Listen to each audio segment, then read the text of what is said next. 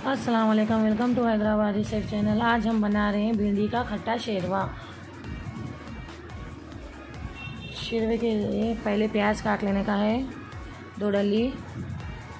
भिंडी लेके कट करके रख लेना है। कोतमीर हरी मिर्च चार पाँच ले लिए। इमली पक्की इमली को भिगा के पानी में रखना है दस मिनट। अब कढ़ाई रख के इसको हम ना टमाटर काट लेने का है। पीसेस करके साइड में रखना। कढ़ाई गर्म हो चुकी है, इसमें तेल डाल के गर्म करना है। इसमें भिंडी डाल के फ्राई करना है। ज़रा फ्राई कर लेना चिकेट नहीं ऐसा का। निकाल के साइड में रख लेने का है। कुकर चूल्हे पे रख के गर्म करना है।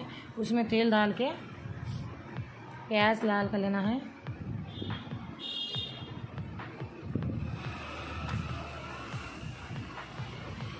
एक बार हिला लेके उसको।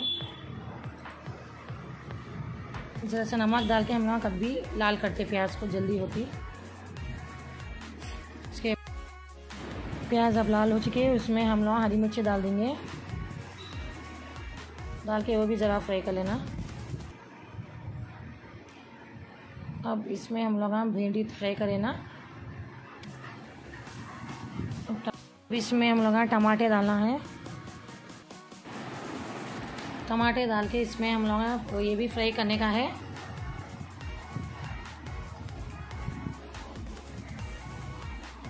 तो उसमें कोतमीर डाल देंगे। भिंडी अब पक चुकी है ना, ये फ्राई हो चुकी है, इसको हम लोग प्लेट में निकाल लेना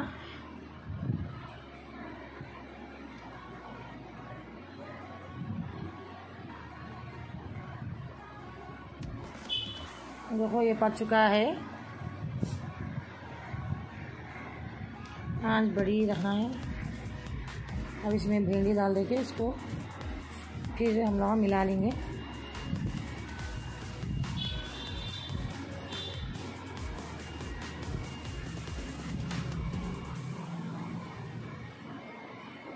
अब इसमें मिर्ची, लाल मिर्च पाउडर है हम लोग। आप कितना खार खाते हो तो डाल। लो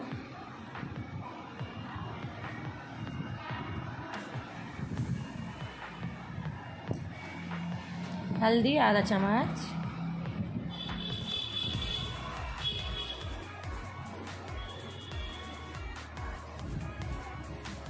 अदरक लहसुन एक चम्मच। नमक हम लोग पहले भी डालिए थे ना, प्याज में, फिर अब ज़रा डालेंगे। इसको फिर हिला लेंगे अच्छा। फ्राई कर लेना। इसमें आधा गिलास पानी डाल देंगे। एक बार हिला लेके इसको हम लोग ढक्कन लगा के अब कुकर को हम लोग ढक्कन लगा देंगे। तीन विजिल होए तक हम लोग रख देंगे।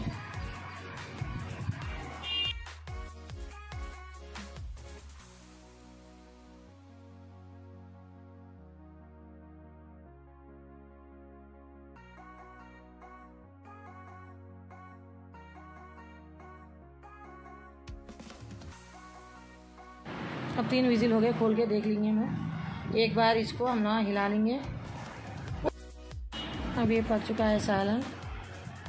देखो उसमें तेल छूट चुका है। इमली का रस इसमें निचड़ लेके इसका रस अब हम लोग भिंडी के इसमें सालन में डाल देने का है। देखो हिलाएँगे।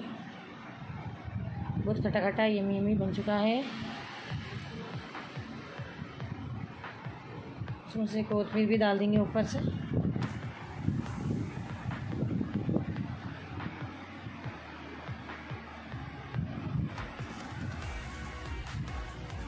एक बार देखो, भिंडी का शेरा। पक चुका है ये। बहुत यमी यमी बन चुका है। बहुत खटा खटा।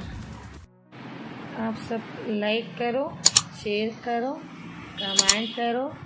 सब्सक्राइब करो बेल आइकन को भी क्लिक करो। सालन बन चुका है, चूल्हा ऑफ़ करो। अल्लाह हाफिज़।